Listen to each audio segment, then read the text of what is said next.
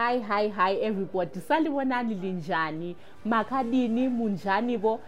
Everybody from wherever you are joining us from my name is Samantha Sibanda and welcome to this week's episode of disability news. This program is brought to you by creative thinker signs of hope and endless possibilities. So on this episode we want to focus on women's day.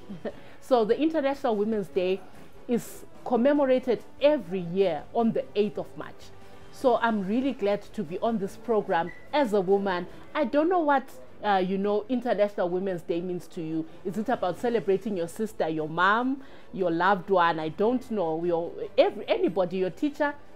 To me, Women's Day is about reflecting. It's about you know sharing my love with other sisters. So yeah, tell us more about how you'll be spending your Women's Day. And I know um, that women with disabilities as well are commemorating this day around Zimbabwe. It's a nice thing to see. It's a nice thing to see other organizations also celebrating the good work of women with disabilities.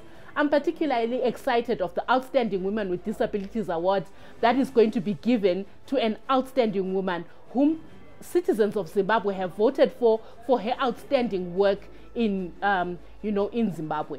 So yeah, this is something that you can watch out for. There are other organizations like Heart and Soul Music that are also doing things to do with uh, you know International Women's Day. So this year the Women's Day has got a a digital focus. We want to focus on women's rights online and you know equality of people. There are a lot of things, the intersectionalities that make people not be able to be online. For example, if you look like at people in the rural areas, if you look at other people with disabilities who can't afford a cell phone, and you know, we want to focus on this right now. A time in the digital era where everybody is going online, where everybody is researching online and pushing for their rights. And one really hopes that we can make, uh, you know, ladies with disabilities digital citizens just like how we are as well. Um, so also, uh, I don't know how you'll be spending this day, but I would really love to hear from you uh, how you are spending this day. You can comment on our video and let us know from wherever you are in the world how you spent uh, the 8th of March.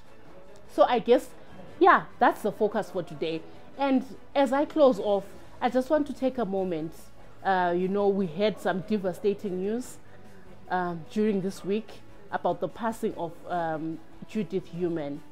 She's a disability rights advocate who was based in the United States, but her work speaks to, uh, you know, a lot of things that were happening in the world.